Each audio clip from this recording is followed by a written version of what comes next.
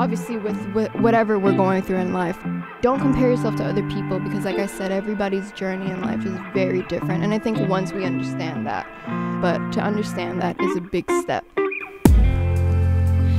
If we could